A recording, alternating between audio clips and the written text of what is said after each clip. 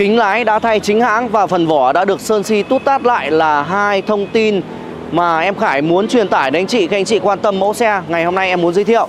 Vâng, đứng bên cạnh em Khải đây đó chính là Mazda 3 phiên bản 1.5 Luxury form mới 2020 lăn bánh được hơn 5 vạn km tên tư nhân một chủ từ đầu. Và đăng ký lần đầu là tháng 1 năm 2020 biển gốc Hà Nội ạ và giá bán của chiếc xe này bên em đang bán với mức giá là 529 triệu đồng.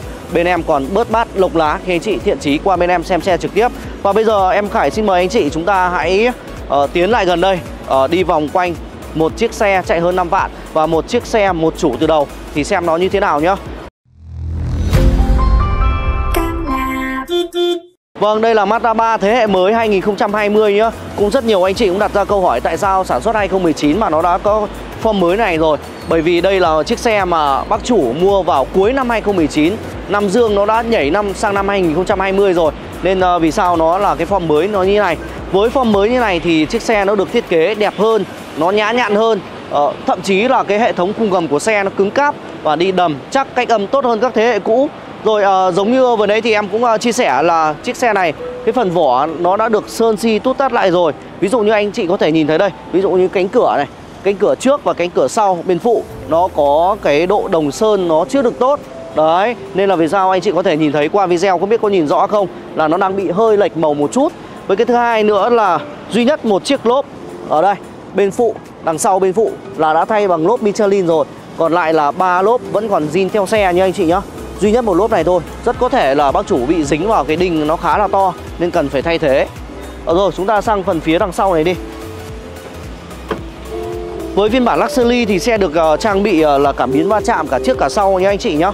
Đây uh, anh chị có thể nhìn qua cái phần cốp cũng có thể đánh giá được là bác chủ đi nó giữ gìn như nào. Ví dụ như những cái phần nhựa phần hèm cốp này này nó không bị xước sát quá nhiều thì chứng tỏ là bác chủ không để những cái vật đồ nặng lên mà nó chỉ là những cái vật rất là nhẹ thôi hoặc là những cái tấm thảm ờ, bằng nhựa này rồi rồi tấm thảm bằng ờ, da như này.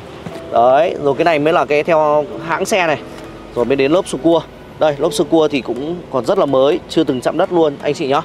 Vâng thưa anh chị đây chính là phần ờ, nội thất của mẫu xe Mazda 3 Luxury sản xuất 2019 và đăng ký 2020 một chiếc xe tư nhân sử dụng gia đình có thể nói đánh giá là chất xe chuẩn 5 vạn từ vô lăng uh, củ số. Nó đều đánh giá được cái uh, độ giữ xe như thế nào. Với phiên bản mới này thì chất liệu ghế thì nó đẹp hơn các thế hệ cũ nó căng hơn và nó đều. Nó không bị ờ, nhăn những cái phần má ghế như các thế hệ cũ và những cái ờ, phần thiết kế của phần nội thất của chiếc xe nó đẹp hơn khá là nhiều. Bản mới này thì là nó được trang bị là 7 túi khí. Ngoài ra thì ờ, bác chủ cũng đã lắp thêm cái cảm biến absolute ở đây anh chị nhá.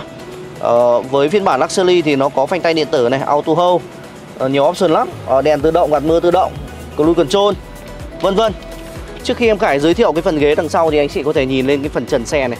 Chúng ta cũng có thể đánh giá rằng là chủ xe đi nó giữ gìn như nào Hoặc là một chiếc xe có chạy dịch vụ hay không. Đây, trần nó rất là mới và sáng. Thứ hai nữa là cái hàng ghế thứ hai nó rất là đều và căng. À, Với phiên bản Luxury thì được trang bị là cửa gió điều hòa. Còn như trước cái bản Luxury nó là bản Deluxe Thì nó không có cửa gió điều hòa ghế sau đâu anh chị nhá.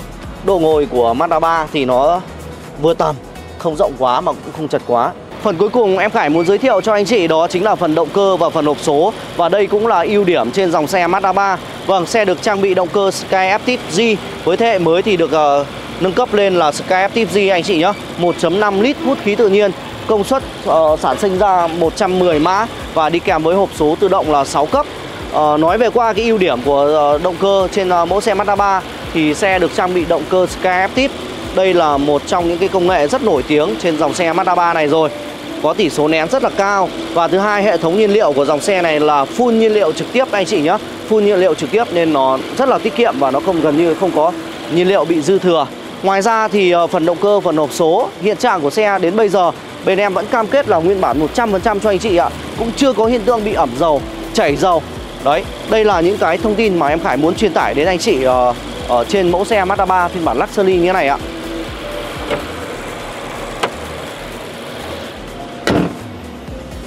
Vâng, uh, video đến đây là kết thúc rồi ạ. Uh, Anh chị quan tâm mẫu xe Mazda 3 phiên bản Luxury sản xuất 2019 Đăng ký năm 2020 Màu đỏ ruby Rất là đẹp.